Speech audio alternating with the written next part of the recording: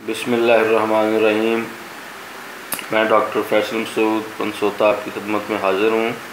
आज हम बात करेंगे एंटीबायोटिक सेंसिटिविटी के हवाले से कि एंटीबायोटिक की सेंसिटिविटी और रेजिस्टेंस जो है, वो क्यों डेवलप हो गई है।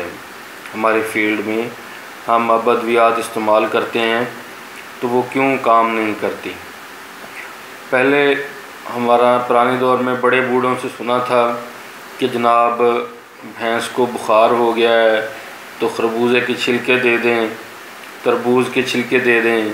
शायद उसका कोई एंटीपायरेटिक इफ़ेक्ट था तो उससे बुखार उतर जाता था। और कोई डाइजेस्टिव प्रॉब्लम हो गया तो वो आम घर में तैयार करदा जो स्टमक पाउडर या सुंड अजवैन सौंफ वगैरह का जो उन्होंने मरकब बनाया होता था, उससे ठीक हो जाता था।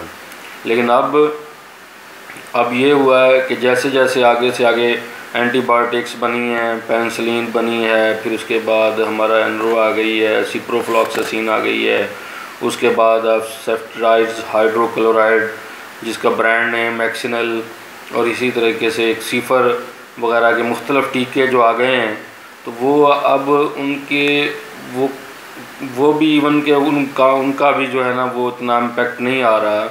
उसकी वजह यह है कि जो जर्म्स हैं जो जरासीम हैं जो इन्फेक्शन है जिसकी वजह से होता है वो आ, उन्होंने इसके ख़िलाफ़ क़वत मुदाफ़ियत उनके अंदर डेवलप हो गई है या रेजिस्टेंस डेवलप हो गई है जिसकी वजह से जब हम अद्वियात इस्तेमाल करते हैं तो वो उसका रिज़ल्ट नहीं आता।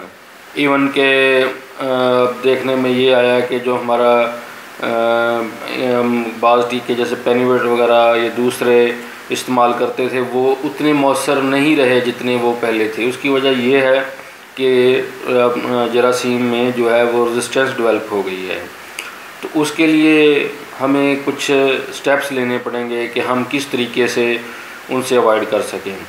पहले तो जो थर्टी परसेंट एंटीबायोटिक का जो इस्तेमाल है, वो एक सर्वे के मुताबिक वो सही नहीं है।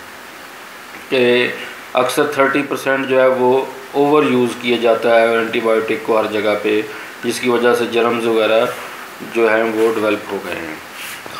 तो दूसरी बात यह है कि सबसे बेहतरीन हाल इनसे अवॉइड करने का ये है कि हमारा जो वैक्सीनेशन का जो प्रोग्राम है, हम वैक्सीनेशन के प्रोग्राम को उसको मरबूत बनाएँ और स्ट्रॉन्ग बनाएँ ताकि जितना ज़्यादा हम जो उसको वैक्सीन को बेहतर करेंगे, उससे लिहाज से हम जो है इसकी, इसको कम इस्तेमाल कर सकेंगे एंटीबायोटिक को।